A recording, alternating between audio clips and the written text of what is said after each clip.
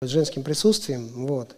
И я неожиданно для нее самой, я сейчас ее сюда приглашу, вот. И, к сожалению, ушел из жизни вот, человек, который, наверное, на мой взгляд, лучший метатель в мире был, вот. И, значит, его дочь тут, ну вот, его звали Юрий Федин, она его дочь, Оля Федина. И мне бы хотелось бы, чтобы эта красавица сейчас пришла сюда, порадовала вас своим внешним видом и немножко рассказала о себе. Вот так вот. Все, спасибо лучше, тебе. Лучше закон, да, да, да, да. Спасибо тебе огромное.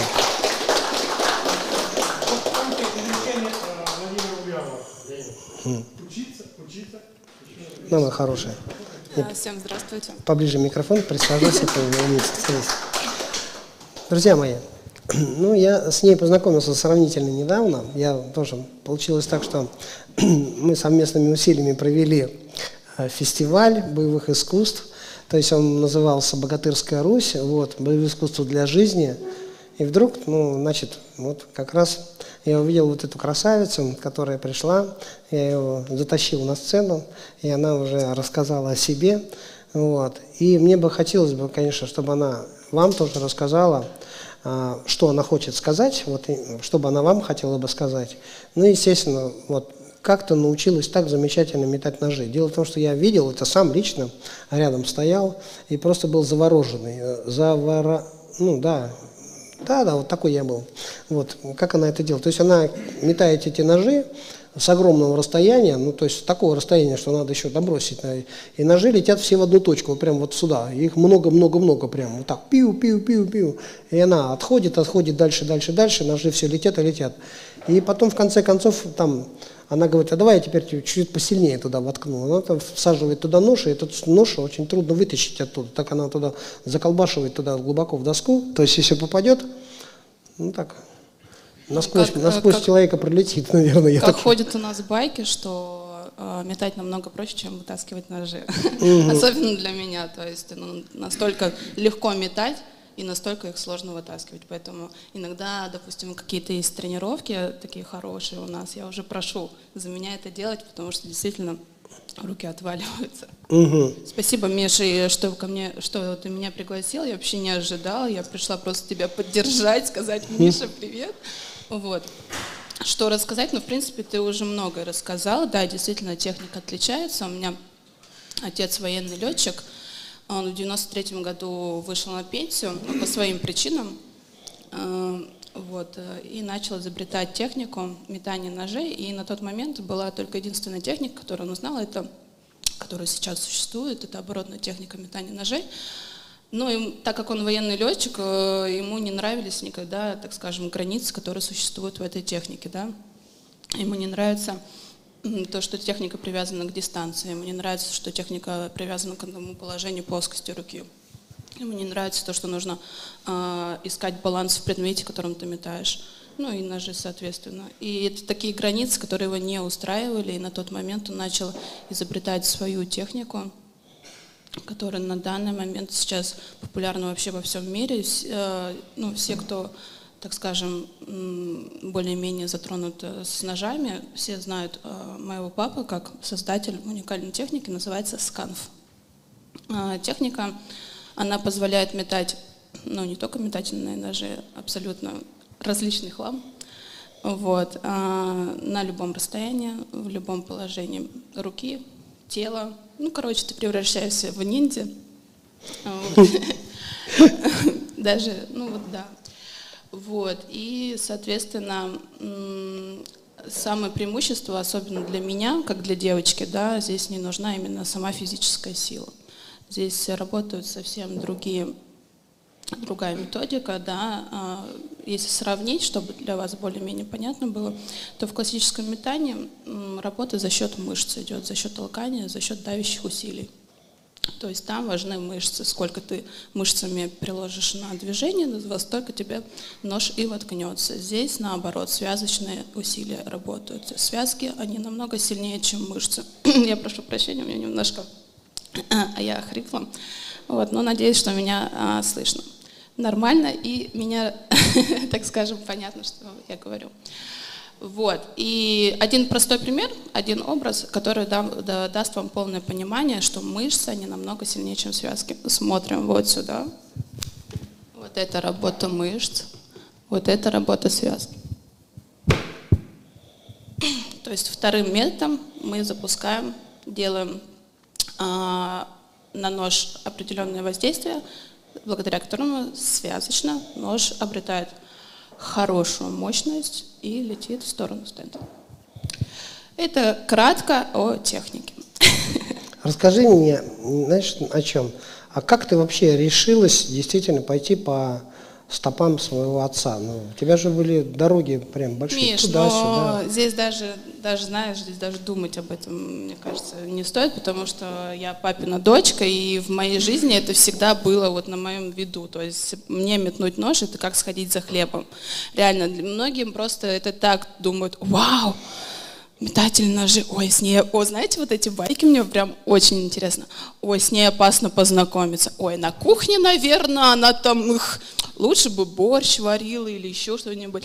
Знаете, ну, я уже к этому привыкла, мне это на самом деле смешно, но в моей жизни это действительно настолько естественно, и ну, с 8 лет, да, то есть у меня папа начал э, какие-то методические пособия там записывать, и я была как экспериментальный кролик, который нифига не умел, и ему это было на руку, потому что нужно было научить человека, который не умел метать. Соответственно, это была я.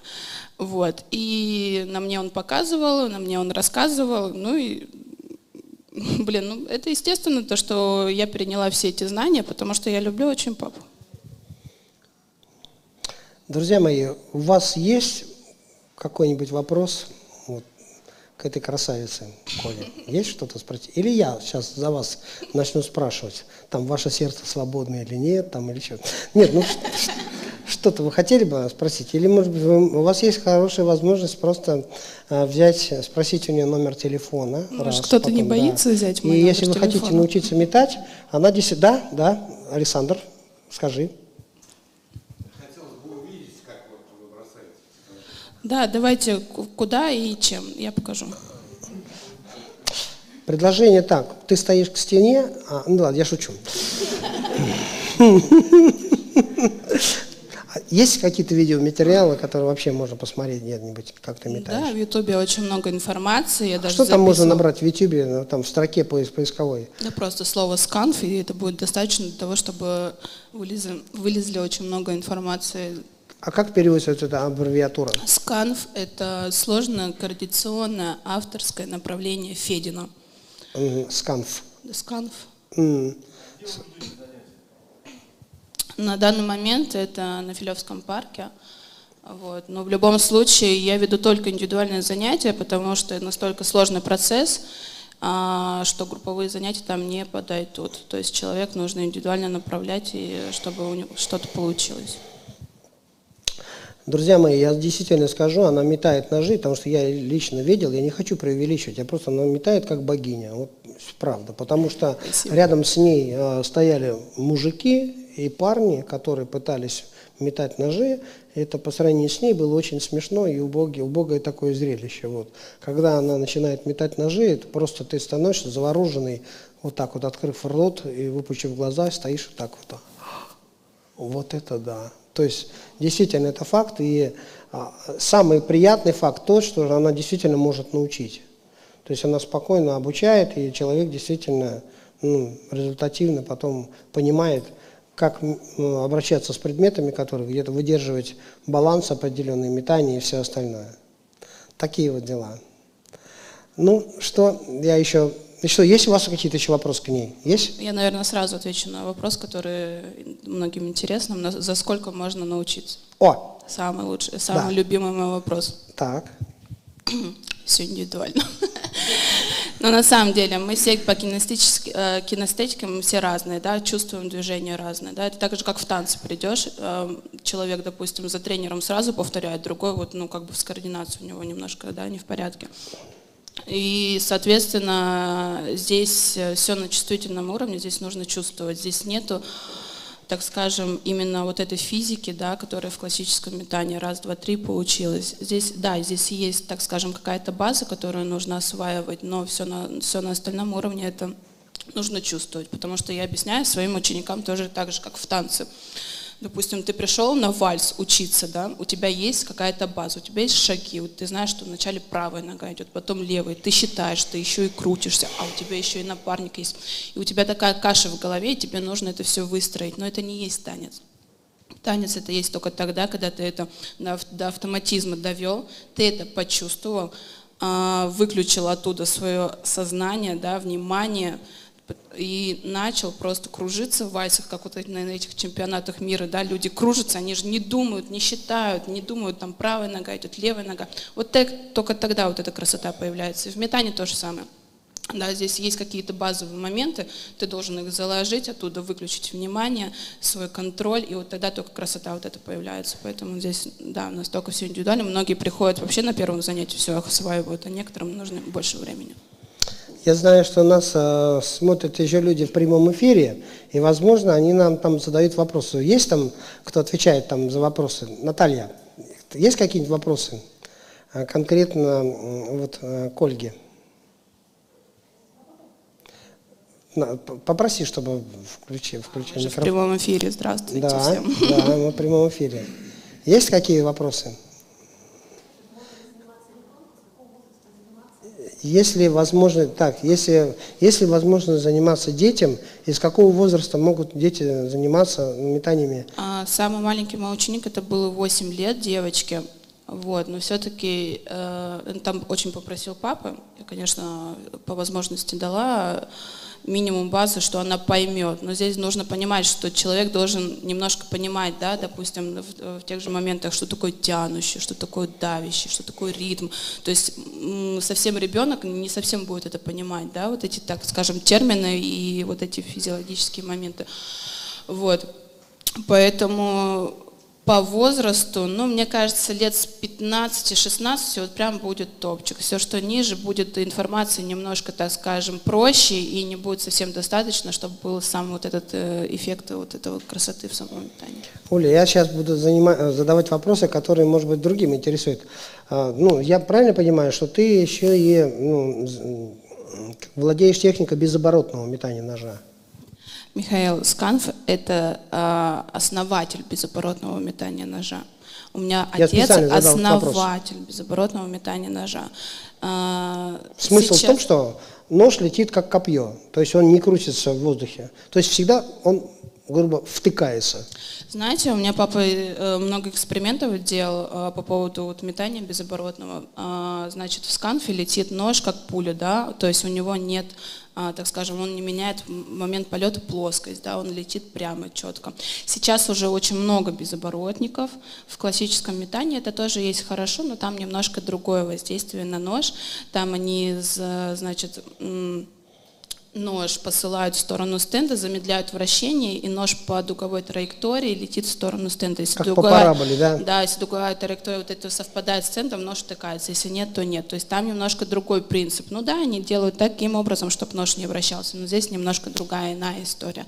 То есть мы запускаем нож таким образом, если вот сколько в нем есть этой энергии, вот столько он долетит. То есть ему вот эта, так скажем, плоскость, она не нужна, потому что когда предмет или нож или даже пуля, когда меняет плоскость в пространстве, в, нё, в ней теряется энергия. Здесь то же самое, да, здесь теряется энергия, здесь по прямой траектории энергии не теряется. Еще вопрос. Тогда, возможно, не только меня, и других людей интересует следующее. А, я видел сам лично, что, значит, э, есть люди, которые метают безоборотно, и у них нож летит – примерно 10 метров, даже больше, 10-12 метров. Скажи, пожалуйста, вы тоже это делаете, да? А, да, Миш, э, мои личные вот соревнования были, э, мой дальний бросок 12 метров без оборотов в мишень. То в есть мишень. за счет, да, за, да. за счет. Ну да, можно больше там, конечно, поэкспериментировать. Ну, в мишень, самое главное. В мишень, да. в мишень, не просто так. Вот, ну дальше можно, наверное. Ну, есть ли об этом смысл? Да, нет смысла, нет смысла. Нормальное метание, на, на мой взгляд, на догонном курсе, там, когда там человек разрывает дистанцию, раз, вот догнал, вот, там буквально 3-4 шага, самое большое, не больше того. Да, есть, конечно, рекорды и больше, но там идет именно вот это, так скажем, второй, вот этот первый способ, который я говорила, да, посылают Да, нож, да, да, толкают, замедляют вращение, и там сколько уж сил хватает у мужчин или у женщин, и вот туда, их, вот он столько и долетит, если он, так скажем, еще, еще, еще, еще, ну, правильно там воткнется сумеет. Оля, спасибо тебе большое. Спасибо, Миш, Да, большое. я очень рад, что ты есть. Ты молодец. Я очень доволен, что ты пришла. И сейчас я на спину тебе приглашаю сюда Спасибо. еще одного замечательного человека, который... Оля, спасибо тебе большое.